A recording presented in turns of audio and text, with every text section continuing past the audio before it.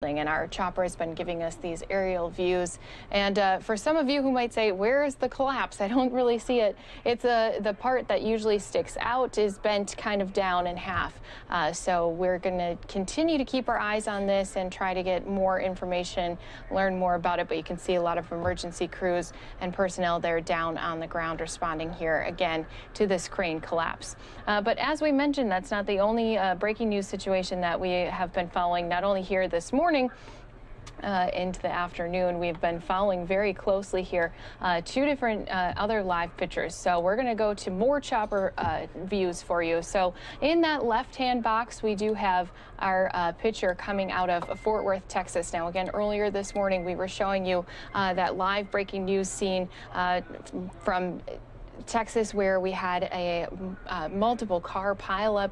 Uh, so there has been some updates that we've been giving you throughout the day. More than five people, unfortunately, have lost their lives from that car uh, crash that happened on the I-35 in Fort Worth, Texas.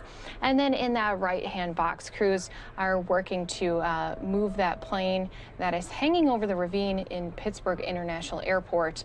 Uh, they're trying to move it back onto the runway after sliding off last night. So a lot of breaking news to follow you, and we just want to say thank you for following all of it with us here on News Now from Fox.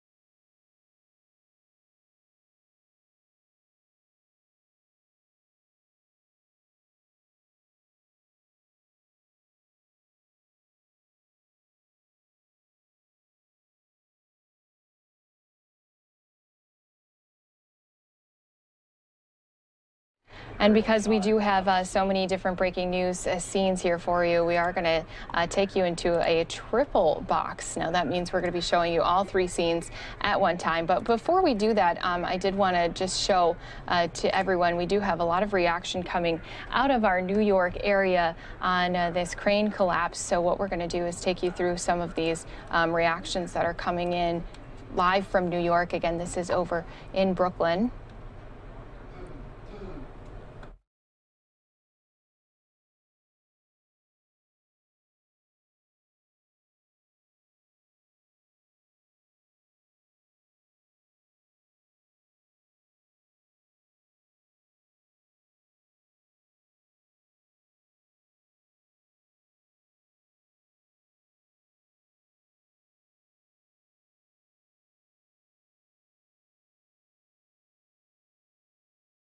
All right, so just showing you some reaction here. Uh, we did have uh, people sharing photos and tweeting out here saying, happening now, we have New York City CFPA member Chris Clark on the scene of a partial crane collapse in the borough of Brooklyn at One Bell Slip.